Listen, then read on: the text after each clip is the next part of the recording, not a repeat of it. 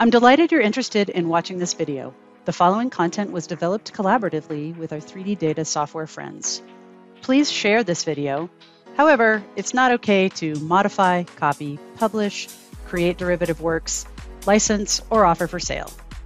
If you want to learn more about how to leverage these techniques at your organization, contact us and learn about our Ready, Set, Go, Grow methods to implement 3D digital data to save your organization time and money.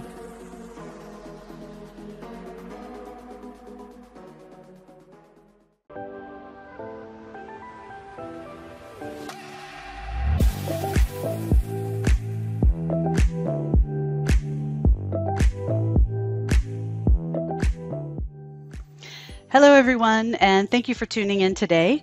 I am Jennifer Herron, CEO and founder of Action Engineering, and we're a company that helps manufacturers to create, use, reuse, and also automate their 3D CAD data in the design, fabrication, and inspection space. We partner with your team to build a resilient future centered on connected, trusted models and an uplifted workforce. Everything we do at Action Engineering leverages practices that are applicable in any CAD and PLM tool suite. We like to call ourselves tool agnostic. Today, I want to teach you guys a digital workflow for CMM and X-ray systems using Creo MBD, QIF, and MBDVidia. And I'm joined today by Charlie Tersch of Zeiss Industrial Quality Solutions and Daniel Campbell, VP of MBD at Capvidia. And their digital metrology technologies make this technique possible. If you caught our last webinar, you will see a technique to author an MBD 3D model, generate PPAP elements automatically with a significant savings in time and reduction of manual data entry. We even showed how to process a revision automatically. So check out that recording, which you can access with a free account of Oscar. And we're also going to talk about QIF, the Quality Information Framework today. So if you'd like an introduction to QIF, head back on over to Oscar and watch that recording from part one of this series. Find out about Oscar at our website, action-engineering.com. Does CMM programming cost you significant time and effort? I'm guessing your answer is yes. This digital thread technique I will teach you today can save up to 75% of your CMM programmer's time. I will show you a part that has some complex geometry. The part is fabricated as a casting and is then machined to produce the final product. We're going to see a Creo model that has annotations semantically associated to its geometric features. Sometimes we call this PMI. We're going to see why QIF is the key interoperability standard to the door of this digital opportunity. We're going to see how Zeiss leverages a digital bill of characteristics to program their CMM. And we're going to see the coordinate measurement machine in action. We'll also see how Zeiss's X-ray equipment, Metrotom, rounds out the measurement plan by scanning the complex geometry, which is defined as an overall profile tolerance. As you watch this demonstration, Keep your mind open to how this 3D digital data can empower your quality and design silos to work together better. When these techniques are used, I see operational efficiencies because feedback loops are established from quality to a design. And design engineers learn how their design requirements are realized in the fabricated part and this often leads to design optimization to reduce cost and increase part throughput. Let me paint you a picture of your current state and then describe the steps it takes to hand off information from engineering to quality for the purpose of performing a first article inspection. First, a drawing is generated. That drawing is ballooned. A quality planner uses the drawing and balloons to generate an ISIR form or an FAI form. Then they use the drawing and the form to create a measurement plan. This is mostly a manual data entry process today. The quality plan is passed to a CMM programmer to create a machine code program to measure the part. Then the measurement is performed on the CMM, and sometimes there's a need to supplement the measurement plan with additional measurement resources. All the measurements are recorded in the ISIR or FAI form. And finally, the part is accepted. So I hope I generally captured the way you work today. I estimate this work takes roughly six days from start to finish. Let's see the workflow and potential time savings when using MBD plus digital metrology techniques together. Just like you did with a drawing, you'll still need this step to generate the MBD or model-based definition. Use your preferred 3D CAD platform in this step, and we recommend training your MBD authors to use GD&T per the latest ASME and ISO standards to maximize the digital metrology savings. Use Capvidia's MBD software to auto-generate the balloons and a table which captures the bill of characteristics. The Quality Planner uses Capvidia's MBD software to auto-generate the ISIR form to ISIR. Then the MBD is imported into digital metrology planning software. And today we're going to see Calypso from Zeiss, where the user of the software does not enter any data, rather he just imports it. During this step, they identify that the GD&T is best validated using a CMM and an X-ray device to check the overall profile tolerance on the cast surfaces. Next, the CMM programmer checks the automated path plan, probes, and simulates the planned path to measure the part. Then the measurement is performed on the CMM and with the X-ray. All the measurements are automatically recorded in the ISIR or FAI form. And finally, the part is accepted. This workflow only takes about a day and a half as compared to the six days before. This is a 75% time savings. In part one of this series, we showed you the first three steps, so I'll pass it on to Charlie from Zeiss to pick up and show us the measurement planning step and show you how this works with our pump case part. Thank you, Jennifer. No, happy to be here. Everyone here at Zeiss is very excited for uh, what uh, QIF has to offer and, and very excited to kind of show how it fits into um, our line of work, uh, especially here with regards to Calypso um, and our CMMs, and we'll even show our, our Metrotom system and kind of how it fits in over there as well. So, a very exciting uh, topic here. Love to love to show uh, what Calypso is capable of jump into the, the QIF model where where we pick up from a, a Calypso CMM programming standpoint as, as we bring in this uh, the QIF model, a whole new aspect to play with. Let's just load our QIF model here in Calypso and you'll kind of see how it does look a little different than a traditional model without any uh, PMI or MBD based models. So the nice thing about the QIF is you really don't lose anything you you can do everything that a, a, CMM programmer is accustomed to doing in the past. You can extract features, associate um, dimensions to different aspects of the model, and no loss of capabilities from the QIF model. You're only gaining the PMI that's been embedded into it, which you can use to, to really help speed things up. As you can see, we, we got our model here, um, and if we were to check on the PMI, over here on the left-hand side, we can actually see all of these dimensions that have been embedded into the model. Uh, typically, you wouldn't see this coming from non-MBD models. So nice added benefit here, and you can see kind of what surfaces they're associated to, and, and a lot of that work has been done upstream. So, I mean, typically in the past, CMM programmers had to extract every single little surface that they want to measure. They have to associate those surfaces with a dimension um, which in Calypso are called characteristics. And in those characteristics, they have to type in the tolerances and the datums and, and everything that's associated with it. Uh, with the PMI um, being already here, and a lot of that work has already been done upstream, it gives the the software the ability to extract these features, link them to the appropriate dimensions, and assign the tolerances and datums appropriately automatically. So it really cuts down on a lot of that time consuming clicking that the, the CMM programmers typically used to doing. But obviously, the programmers still needed to handle a lot of the navigational movements and setting up some alignments and, and things like that. So they are very much still needed in this process. So now that we've got our model loaded, um, I'd like to set this program up so that we can run it on a CMM. First, like any program, we're going to orientate the model in the manner that it's going to be fixtured on the machine. I will do that here with a CAD model transformation. We are going to rotate this by 90 degrees in the Y, and then negative 90 in the Z.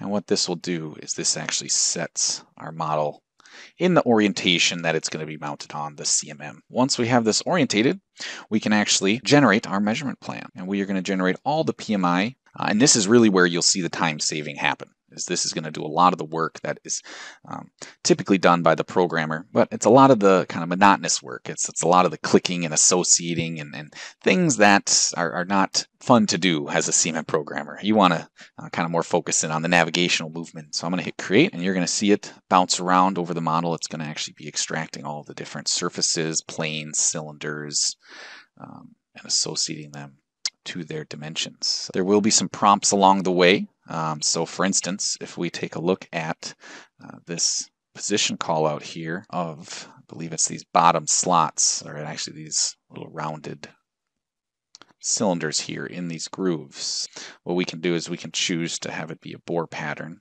which is what this dimension is requiring.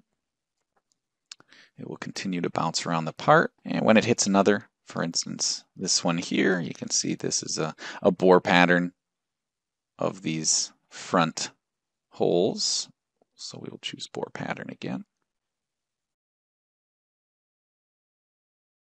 For all those programmers out there that are used to doing things a certain way, you can still do everything exactly as you, you are accustomed to. It just gives you the ability to use this PMI. I think once you start to get the hang of it, you'll really enjoy using it, cut down on programming time. So.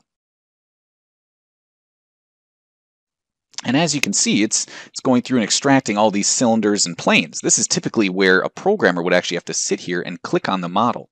So it's doing all this work for us, which is a major time saver. And we now have all of our features extracted, along with all of our characteristics. And these characteristics, and these are all the dimensions, as I mentioned, they're all coming directly from our PMI list here. So as you can see, all of this PMI has been loaded, and these are all directly linked to these dimensions over here on the left-hand side. Now, sure, as the programmer, we can tidy some things up, which you'll see me here doing. We're going to start off by just setting up our baseline. What has happened is we've extracted all of the features and all of the characteristics have been associated to their respective features. However, the machine still needs to know how to navigate around the part, so we got to set up a base alignment here. And what we're actually going to use is the datums A, B, and C. So we have datums A, B, C here. Uh, so these, I'll just drag them to the top of my program. Um, these are actually the features we're going to use um, for setting up this alignment. And datum A, all it is, is it's this front plane here. Datum B is this center cylinder. And datum C is actually a, a, theoretical plane, these two pulled into one surface, uh, one theoretical plane here. So we're going to go into our base alignment window and associate these. We're setting up our alignment. This is so that the machine knows how to navigate um, around the part and find the different areas that we want measured. And that way then when we go to locate this part of the machine, it'll know right where the, the part exists. Now that we've already extracted all of our planes, all of our cylinders, and our characteristics, I mean, this typically would have taken us probably an hour, if not a few hours, um, to do as a in a typical um, programming manner. So um, this is this is really where our time saving is coming in is, is preventing us from having to click on this model so many times in all of these little holes and, and surfaces and everything like that. We can actually jump right into uh, setting up their, their strategies. So we want to kind of say, okay, well, what probe do we want to uh, measure this with? What clearance plane do we want to um, navigate through to, to, in order to measure and then kind of how many points do we want to take and is actually use another one of our tools to auto assign our stylus system. What we're doing is, is we have a stylus system, a star probe, um, here that has four tips um, in order to measure all these different features. What we can actually use is our automatic stylus assignment. And what it'll do is it's just going to go through our entire program, look at every single one of these features, and assign what it believes to be the appropriate stylus. So obviously as a human uh, programmer, we always want to double check, make sure that, that it's not signing something incorrectly. Good first step. It'll do 90% of the work for us. And what that does now is if we were to open up plane A here, it will have actually already assigned stylus system 2y, which if we were to look at this, that is the stylus system we would want measuring this feature.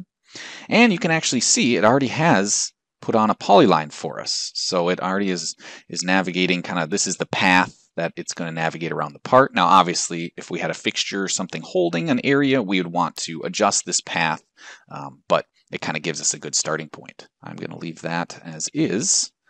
And lastly, I will also just want to check our clearance plane.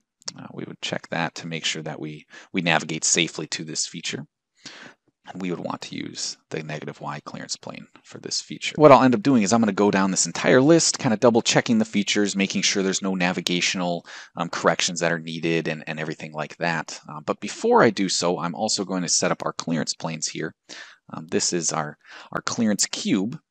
We'll just generate it from our CAD model here, and, and we could adjust it um, if we needed a little bigger and cube around our part for safe navigation. And we can also uh, make sure that it's using the appropriate clearance plane, um, which is another aspect of programming, uh, making sure that it is not going to have a crash or or break a styli or anything like that. The next aspect is, yeah, like I said, just to run through the features and make sure that they are uh, set up um, to, to have kind of no, no collisions and things like that. So you'll see me doing that here now. I'm going to check this one. You can see we got good navigational pass on there and it assigned two circles so we'll grab that cylinder. Our clearance plane is positive y. We'd actually want that to be negative y so we'll switch that there.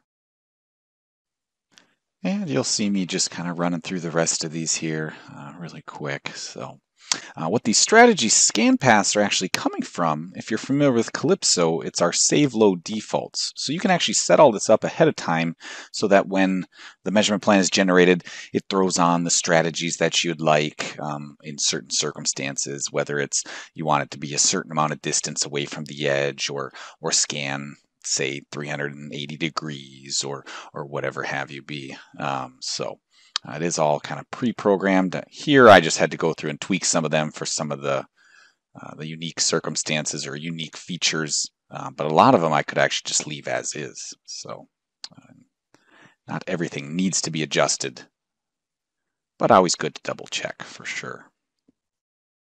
This last feature here is actually um, a surface profile callout of the entire part. So as a CMM programmer, if I saw this handed to me, I mean, you can see the, the call out here. It is just a general profile of everything. Um, so Calypso, it did try and create the, the freeform surface that would be used to measure this. However, as a CMM programmer, we got to think, okay, is this measurement CMM friendly? Well, Sure, we could try and measure it on CMM, but the problem is it's going to be a real nightmare to have to touch off on every single little edge and surface here all over this the backside of this part. It's, it's really not practical with the CMM. It's going to take a long time to scan and you're still not hitting everywhere that the, the callout is technically asking for. So this dimension would be much more in line with um, a CT data set measurement, so a, a measurement coming from our Metrotom. I'm going to delete our, our complete surface profile for now. We'll show how to measure that later on with the Metrotom data. We've got all of our strategies. I mean, as you can see, I mean, anyone that's programmed before, we're, we're flying. This is, this is maybe an hour's worth of work that we just flew through in 20, 30 minutes.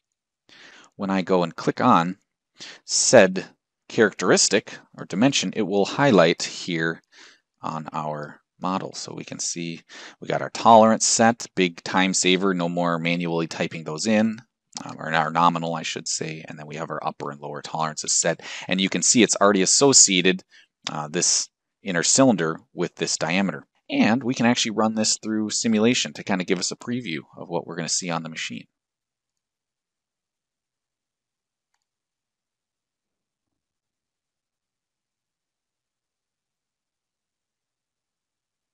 All right, so we'll see our stylus system come into view here, and now we'll see it run just as it would on the CMM. I'll turn up the speed a little bit.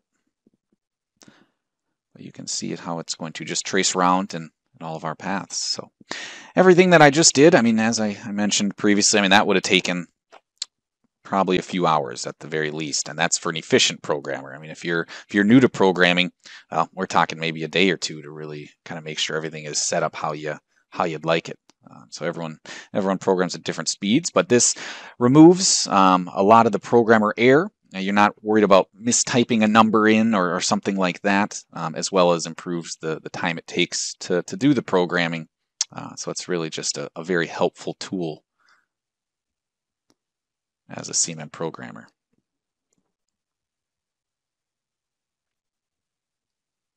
And we'll just let it run here in simulation. We can kind of watch it All right, so that is the end of our simulation run. And what I was doing while that was running is I was just kind of noting the areas that needed to be tweaked. Um, would have had a few collisions there. I mean, with any program, the first time you write it, you always make a mistake. Um, that's just that human error. But uh, that's what the QIF side of things will help eliminate a lot of that. So uh, what I'm going to do is I'm going to jump in here, make a few corrections, um, and then we'll actually be the go run it on the, the actual machine. Uh, we'll show you that. So before, though, I make these corrections, I wanted to show you uh, we also have the QIF result. So just like any part we run, we need to get these results out and, and over to whatever software um, is, is kind of handling or managing them. So in, the QIF environment, uh, not only do we accept the, the QIF model in, but Calypso does have the ability to spit out your results in the QIF format so that we can then bring them back into a software like MBDVidia uh, or something else. So what I'm going to do for this program is here, I will turn on QIF result. That way then, after I make these changes, uh, when we run it on the machine, we'll be able to get that file and kind of show that workflow of everything going back into MBDVidia uh, shortly. So. All right, and you'll be able to see the measurement uh, plan kind of running through here. Uh, we sped it up just from a time-saving standpoint, but uh, this is like any any CMM programmer or machine operator. I mean, you're used to doing this on a on a daily basis. Uh, you can see it's very similar to our uh, simulation run that we did previously or a few minutes ago. Uh, it's just gonna kind of be the actual scans here. So we'll get the, the QIF result file once this completes, and we'll jump actually into the Metrotom uh, CT dataset portion of the program uh, to show that next before kind of looking at the overall results. So we'll let this wrap up here though. This was scanned on uh, Zeiss Contura uh, with a, an active VAST probe head. For those of you that are familiar with our CMMs, uh, the different models and things like that. So as you recall, there were a few dimensions that were not able to be checked um, in the measurement plan on the CMM. So what we would like to do is show these um, measurements being checked on our uh, CT system here within Calypso. Uh, so we can take data from a system like a Metrotom, pull it into Calypso, and check those dimensions in a non-contact manner. Uh, it's, it's a very similar process. We'll be loading the, the QIF model um, and generating the measurement plan. And then instead of actually measuring live on the machine, we can actually do the measurements live here in Calypso. So you will see that here shortly. First, I'm going to just pull in the measurement QIF file here.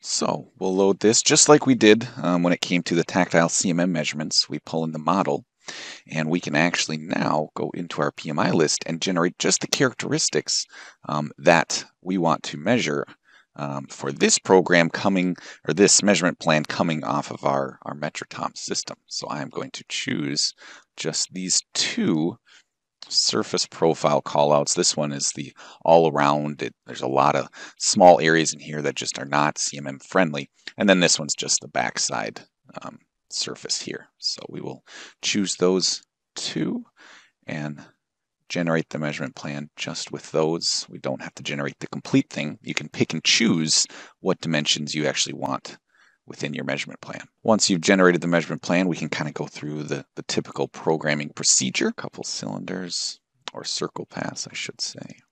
All right, so the last little bit that needs the attention is actually generating our freeform surface on the, the CAD model here. Um, you can see uh, this, all this purple area here is where we would want to measure um, for a surface profile. Now this is a very difficult measurement on CMM just because as I mentioned you can't get a tactile probe to really touch off on all that area. You could but it would take an extremely long time to scan. So a CT data set analysis like this is going to be much more ideal from a time standpoint um, and you can actually check all those little nooks and crannies. So what I'm going to do is just program the strategy here to cover all those little areas. And you will see the software just assigns the nominal points all over all the selected area here that we want to check.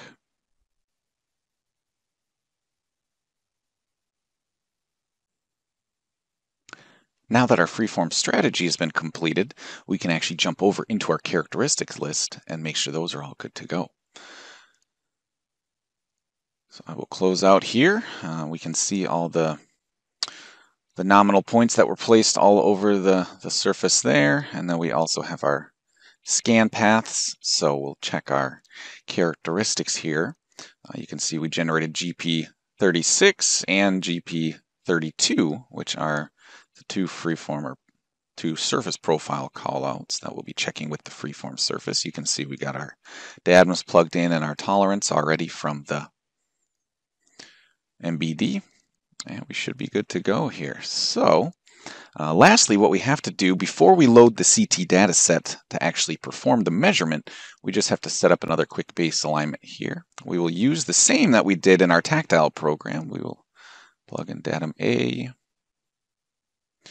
However, we don't actually need to uh, worry about the navigation of the machine, what orientation this part is in, because everything is done here within the Calypso software. We don't have to worry about having collisions. That is one of the, the great benefits of using a CT data set. And last but not least, we just have to load the actual CT data. So I will go ahead and do that now. What we have is an STL file, so we will load this. This actually comes from our Metrotom system uh, it was it was ran over there before this, and we can do all the evaluation offline here on this separate computer. All right, so you can see our CT data set has been read. Um, it is actually here, you can see it floating in space. The last thing we need to do is just align it to the model and uh, run the measurement plan. So I will do that here. So the way you align it is similar if you're thinking of your train of thought on a CMM, you're running and taking tactile points on the actual part. Well, you can see we have our CAD model here and we actually have the CT data set, the actual kind of um, part here in space. So what I end up doing is we just take the alignment points on the respective surfaces here.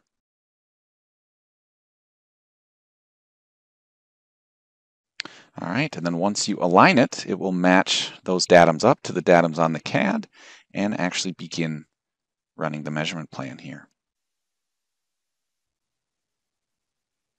And as it's running here, you can see the vector arrows there kind of bouncing around the part as it's checking each of the individual areas. So you can see this freeform surface is going to be checked much faster here on the CT data set than if you were physically scanning it with a tactile probe. It's pretty neat technology, kind of fun to watch.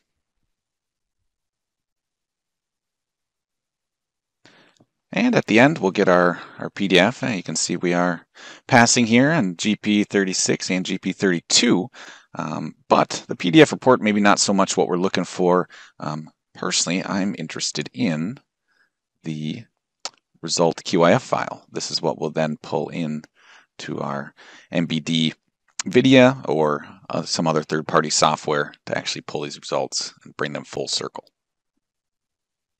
Thanks, Charlie. Um, yeah, so this is Daniel Campbell. I'll walk you through now the portion of um, importing these results uh, from the CMM and from the uh, CT um, into back into the QIF uh, MBD model so that we can kind of view this you know full round trip and get the results back um, into the model-based enterprise. Um, so what we're looking at here is this is the QIF MBD model here in MBD Vidia. Uh, this is the model that we created you know back at the last webinar about a month ago. Um, so this model is a, a, reflection of the Creo native and it's ready to receive some of these measurement results.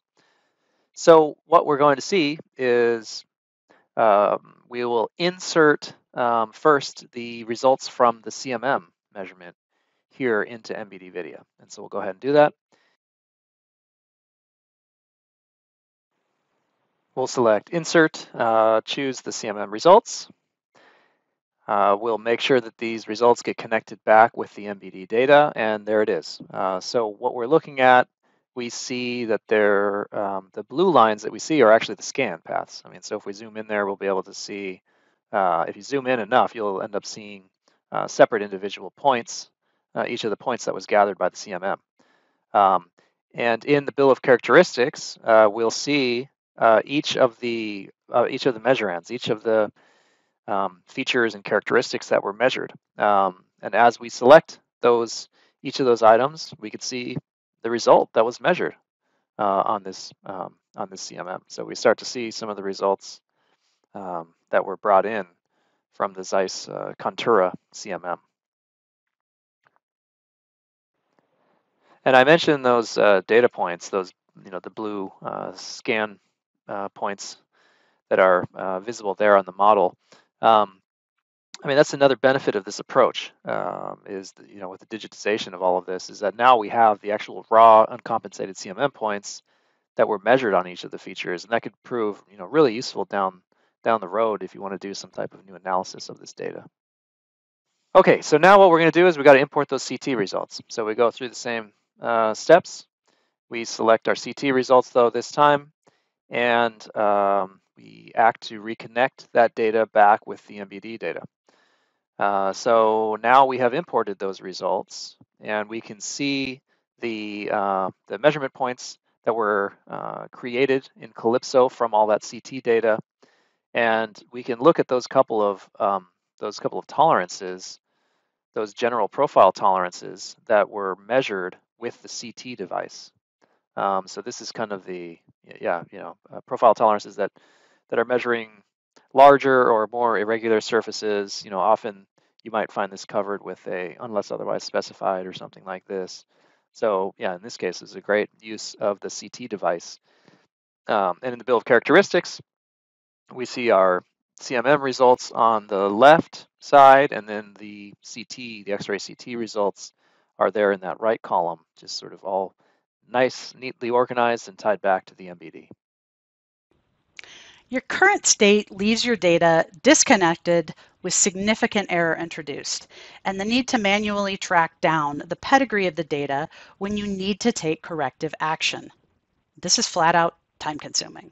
The MBD plus digital metrology workflow demonstrates how to achieve a 75% time savings from six days to one and a half days and a 100% reduction in manual data reentry.